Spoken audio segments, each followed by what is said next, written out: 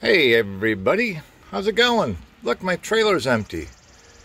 Went to the dump this morning and got rid of all the uh, crap that I ripped out of my ceiling in the garage. So, we'll head on down to Garage Town. I just got back from the dump and it's pretty warm out today but it's comfortable in here. Let's see, what is it in here? 75, 75. So my new blades came in. Right after I sharpened my old ones. Measured them up against my old ones and uh, either the EXT, the extreme hardness and toughness. So these are the the better blades. They're supposed to have a little bit more strength to them. And I got my, what I thought I was ordering was, where's that one bottle I had? Well, I got a humongous bottle of Sta-Bil. Treats up to 320 gallons. So this is huge compared to the other one. I didn't pay attention to the size. What did I do with that freaking bottle? Show you a comparison of it. I don't know. I can't figure out what I do half the damn times. But um, the last set of mower blades I put on my mower were just a little bit long. And when I fired the mower up, it uh, it sounded fine. And then all of a sudden it started hitting the deck when it started turning. So I had to shave off some of the this that was hitting the deck. But these match up exactly to what's on my machine now. So, and I bought some of this. Acrylic asphalt crack filler and uh, made by Red Devil. So, as you can see, I got eight tubes of it because my driveway is a cracked mess thanks to this winter. And uh, I did the reviews on it because I got some uh, some concrete crap some uh, while ago, and it's supposed to concrete crack sealer. It's garbage, but I used some other crack filler on this this big crack, and it works pretty good. I mean, I can't remember what it was think it was some type of an acrylic. But, man, what the hell they do with that freaking can? Oh.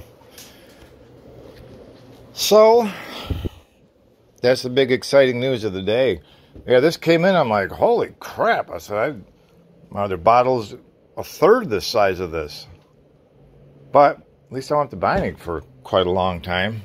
It's pretty funny. So I'm just still waiting on my belt. The original equipment belt for my lawnmower. That this seller is a piece of crap because uh, it's supposed to have been originally it's supposed to have been delivered on eBay site. I ordered on the seventh. Supposed to be delivered on the 16th or the uh, no on the 7th and it's supposed to be delivered on the 14th, I think. Maybe it was the 16th. We'll just say the 16th. So I bought it, and now that's an $80 belt. And then it's supposed to be delivered on the 16th. It's, they said if it doesn't show up on the 16th, call us, let us know. 16th came and went. So I go back and look at the freaking delivery date. It changed to the 19th. And then it says if it doesn't arrive by the 19th, give us a call. I'm like, what kind of shit is this?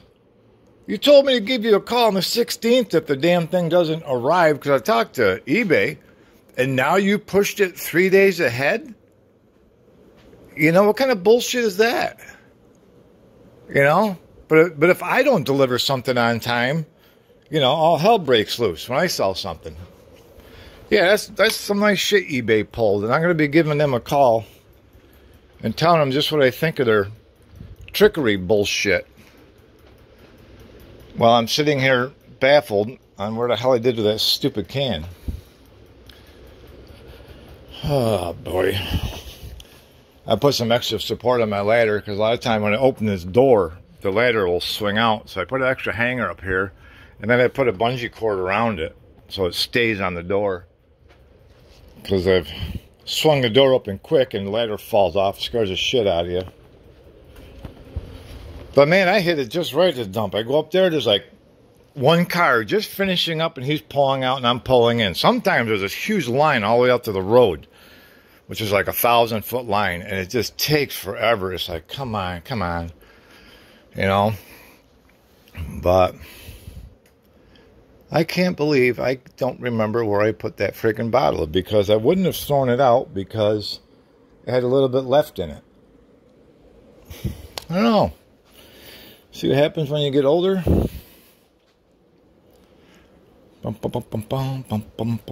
I don't even know where I put it. Hmm. Oh well. It would have been a funny comparison comparing the two. But the funniness just fell short. Ah, crap. Alright, whatever. Whatever, but yeah, so when it gets a nice cool day out, I'll be squirting some of this crap in my driveway. I might even need more than this, but you know, people are giving pointers. Just don't, just cut the tip fine, just to squirt it in, you know, and then just hit it with a putty knife. Because the more cracks you got in your blacktop, the more the water is going to get under there, and it's going to freeze, and it's going to break it up even more. So I want to avoid that. Let's see, they got their little food in there. So I bought some uh, Jack Link's bacon stuff. I don't eat it because it's already got too much fat on it. But my puppy never had bacon before. He went crazy for it. Junior was just having a good old time with the bacon. Then I let him try a French fry. He had a French fry. But he didn't like ketchup on the French fry. He just wanted a regular plain old French fry. Didn't you? Where are you? What are you doing over here? Huh? What are you doing over here, you goof? Are you rubbing your tummy in the heat? Huh? Bite, bite, bite, bite, bite, bite. Every time he jumps up in the chair to see me, I got to get a kiss in the nose. Every time he sees me. I know. He's a good boy. I wish you stop messing up the walkway here. You gonna get a suntan? You get a suntan? Yeah? Yeah. Yep, that's what you get for eating like a pig. Never mind this stuff. He's got the porch covered in all this crap. He drags everything up the porch. I leaf blow it all off. I come back the next day, and then the porch looks like this again. Tree bark. All over. That's what he does. Oh, it's getting hot and muggy out. But not in the garage. All right. Have a good one.